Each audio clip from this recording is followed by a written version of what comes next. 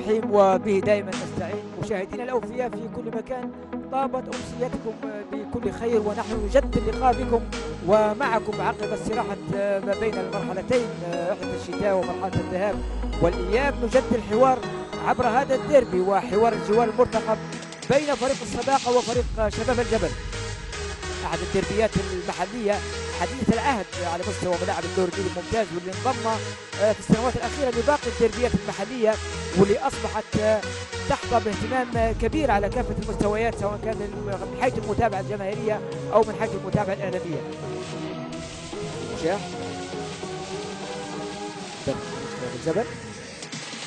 وأمام أنيس الباز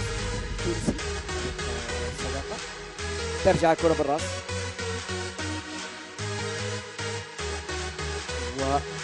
وحكم اللقاء يعطي الأسبقية لصالح فريق الصداقة. كرة سريعة. لصالح فريق الصداقة. فرصة فرصة لصالح فريق الصداقة. فرصة لفريق الصداقة. فرصة ماذا يقول حكم اللقاء؟ إذا ركلة جزاء إذا ركلة جزاء لصالح فريق الصداقة. وحنتابع الإعادة. شوف الإعادة بهذه الطريقة. شوف التمرير كيف كانت من حمزة الهمامي. التونسي حمزة الهمامي. و لاعب رقم سبعة نصر العروسي. ودخل في حوار مع أيوب الحصني تغير لوحة الأهداف في هذا الحوار. حوار منه خاص بين معتصم التايب اللي أمامنا على الصورة لاعب الصداقة وأيوب الحصني حارس مرمى فريق شباب الجبل. انتظار صافة حكم اللقاء حمزة التموني. ركلة الجزاء لصالح فريق الصداقة معتصم التايب معتصم التايب هدف. هدف لصالح فريق الصداقة.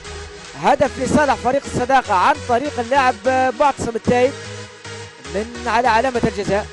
تتغير لوحة الأهداف. معتصم التايب رغم محاولة آه، أيوب الحصني. شوفوا كيف لعب كرة معتصم التايب ومحاولة كانت آه، من جانب آه، أيوب الحصني لكن الكرة في نهاية المطاف استقرت داخل شباك فريق شباب الجبل. إذا تغيرت لوحة الأهداف وأصبح فريق الصداقة هو المتقدم على صعيد النتيجة بهدف واحد مقابل لا شيء. تعود الكرة من جديد. لصالح فريق الصداقة محاولة لعب الكرة داخل منطقة الجزاء. هدف. هدف الثاني لصالح فريق الصداقة إذا هدف ثاني لصالح فريق الصداقة شوفوا التمرير من أكثر من لاعب. والكرة كانت مرفوعة على طبق على القائم الأول. والخالي من المراقبة المتحرر من المراقبة نصر العروسي ينجح في آه، تعزيز فوز فريق الصداقة بإضافة الهدف الثاني لاعب فريق الصداقة الأول وأحرز الهدف الثاني برأسية. كرة ملعوبة وهدف ثالث. هدف ثالث لصالح فريق الصداقة. إذا هدف ثالث لصالح فريق الصداقة. إذا فريق الصداقة أصبح يتقدم بثلاث أهداف مقابل لا شيء. بهذه الكيفية رأسية استقرت داخل شباك شباب الجبل الكرة. الرأسية.